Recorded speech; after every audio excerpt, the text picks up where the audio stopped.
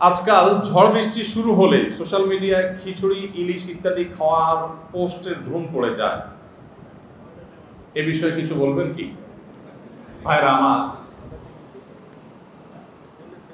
আমাদের এমন একটা প্রজন্ম আমরা এখন পেয়েছি বা এমন একটা সময় আমরা পার করছি। ভোগবাদ আমাদেরকে এমন একটা জায়গায় নিয়ে গেছে যে এখন মানুষ শুধুমাত্র ফুর্তি করতে চায়। ফুর্তিবাজ একটা প্রজন্ম পেয়েছি আমরা। বিবেক, বুদ্ধি, বিবেচনা ভালো মন্দ হিতাহিত জ্ঞান, কোনো কিচ্ছু পরোয়া করার সুযোগ নাই। শুধু ফুর্তি করতে হবে। কি করতে হবে? আপনারা সোশ্যাল মিডিয়াতে হয়তো অনেক ছবি দেখেছেন যে দাদা কিংবা নানা মারা গেছে। লাশের ছবির সাথে, লাশের সাথে এসে সেলফি তোলে, দাগ বের করে। এরকম প্রজন্ম এখন তৈরি হয়েছে ভোর রাত সাহারির সময় দোয়া কবুল হয়, কান্নাকাটি করার সময় সাহারি পাটি হয়, ফুর্তি।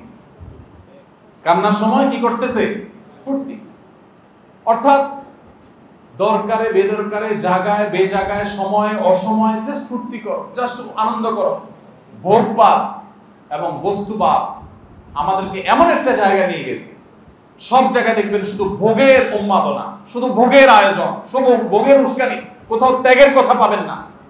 ইসলাম মানুষকে ত্যাগের কথা বলে। এই যে আপনার যত নববর্ষ আছে, ইংরেজি নববর্ষ বলেন, বাংলা নববর্ষ বলেন যা যত নববর্ষ আছে, এগুলো সবগুলো কিসের কথা বলে?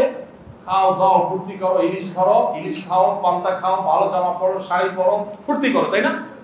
কোনো ত্যাগের মহিমা নাই, ত্যাগের কোনো শিক্ষা নাই। কিন্তু ইসলাম আমাদেরকে যে ঈদ দিয়েছে দেখেন ঈদ উল ফিতরের শিক্ষাই হলো গরিব দুঃখীকে আগে ফিতরা পাঠাও, তারপর নিজে ঈদের আনন্দ করো। তারপরে তুমি কোরবানির গোস্ত নিজে খাও, গরিব দুঃখীকেও খাওয়াও, তুমি ঈদের আনন্দ করো। ত্যাগ এবং ভোগ দুইটাই আছে। তো এই যে আমাদের ভোগী প্রজন্ম, এরা বৃষ্টি, ঝড় হচ্ছে, তুফান হচ্ছে, এটা কি ফুর্তি করার বিষয় কিনা? সেটুকু পরখ করার ক্ষমতাও নাই, হারিয়ে গেছে। সেটুকু আমাদের সব থেকে দূর হয়ে গেছে। এখন আমরা যেখানে সেখানে ফুর্তি করি। ঝড় বৃষ্টি শুরু হলে সোশ্যাল মিডিয়াতে আমরা দেখতে পাই যে আমাদের অনেকেই ফুর্তি করছেন এটা নিয়ে। প্রচণ্ড ঝড়ে গাছপালা সব ভেঙে চৌচির হওয়ার উপক্রম, চতুর্দিকে ভাঙনের আওয়াজ এবং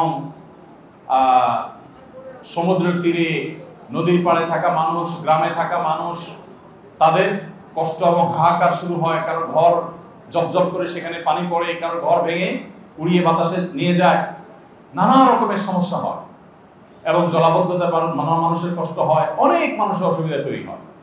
যেই ঝড়, যেই তুফান, যেই বৃষ্টি, যেই প্রাকৃতিক দুর্যোগ আমাদের নানা রকমের বিপদ ডেকে আনে, অনেক মানুষের কষ্ট ডেকে আনে, সেটা আমার ফুর্তির কারণ কীভাবে হয়? কীভাবে হয়? আবার সেটা সোশ্যাল মিডিয়াতে আমি প্রচার করছি যে আমি আমি এই ঝড়ে বাসা বসে খিচুড়ি খাচ্ছি এটা খাচ্ছি সেটা খাচ্ছি। ওই যে ফুর্তিবাজ একটা প্রজন্ম আমরা পেয়েছি। এখন ফুর্তি করা যে কোনো মূল্যে আমাকে ফুর্তি করতে হবে। সব মরেসা হয়ে যাক আমাকে ফুর্তি করতে হবে। এরকম একটা প্রবণতা আমাদের মধ্যে আসছে। আল্লাহ তো আমাদেরকে হেদায়ত দান করুন। ভাইরা আমার খিচুড়ি খান আপনি। এটা তো জায়েজ কাজ সমস্যা নাই। ইলিশ খান আপনি জায়েজ কাজ সমস্যা নাই। কিন্তু যে ঝড় তুফানে আল্লাহর দিকে মনোনিবেশ করার কথা আল্লাহর ভয়ে সন্ত্রস্ত থাকার কথা। নবী করিম সাল্লাল্লাহু সাল্লাম আকাশে যখন মেঘমালা দেখতেন, তখন অনেক সময় ভয়ে আল্লাহ রব্বুল আলামিনের দিকে রুজু করতেন, মসজিদে চলে আসতেন, আল্লাহর কাছে পানা চাইতেন। কারণ আজ সামদ জাতি, এই খিচুড়ি খাওয়া প্রজন্মের সাথে আজ সামদ জাতির সাথে একটা মিল আছে। মিল হলো, কোরআন খুললে দেখবেন, আজ সামদ জাতি পৃথিবীর ধ্বংসপ্রাপ্ত জাতি, যাদের ধ্বংসাবশেষ এখনও পৃথিবীতে আছে, জর্ডানে আছে, সৌদি আরবের আল্লাহ নামক শহর মাদায়ন সালে কোরআনে বর্ণিত শহর এখনও আছে এবং তাদের ধ্বংসাবশেষ আছে। আমার সেখানে যাওয়ার সুযোগ হয়েছে আমি দেখেছি। ভাইরা আমার, এই আজ সামুদ জাতি, তাদের উপর যখন আল্লাহ রাজা আসছে, তারা ওইটাকে এনজয় করছে। তারা ওইটা নিয়ে ফুর্তি করছে। ও সুন্দর বাতাস বইছে হ্যাঁ মেঘমালা আসছে। তারা মনে করছে যে আমাদের জন্য বোধহয় ভালো কিছু আসছে, কিন্তু সেটা তাদেরকে ধ্বংস ডেকে আনছে। তো একজন ইমানদার, তিনি আল্লাহর ভয়ে সন্ত্রস্ত থাকবেন। তিনি ঝড় বৃষ্টি থেকে আত্মরক্ষার জন্য সর্বাত্মক প্রচেষ্টা করবেন, সতর্কতা থাকবেন, অন্যদেরকে সতর্ক করবেন। পাশাপাশি তিনি আল্লাহর কাছে পানা চাইবেন, যেন আল্লাহ তাকে ক্ষয়ক্ষতি থেকে বাঁচিয়ে রাখেন। তিনি ফুর্তি করবেন না। সব জায়গায় ফুর্তি করা। এই যে দেখেন, চন্দ্রগ্রহণ সূর্যগ্রহণ, এটাকে এনজয় করে এখন আজকাল মানুষ, তাই না? দূরবীন দিয়ে দেখে, চন্দ্রগ্রহণকে এনজয় করছে।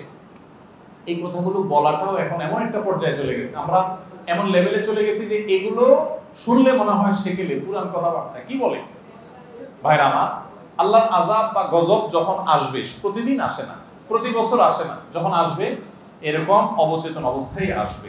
আল্লাহ রাব্বুল আলামিন আমাদেরকে হেদায়েত দান করুন। ভাইরা আমার, ঝড়, বৃষ্টি শুরু হলে আল্লাহর কাছে পানা চাইতে হবে, দোয়া করতে হবে।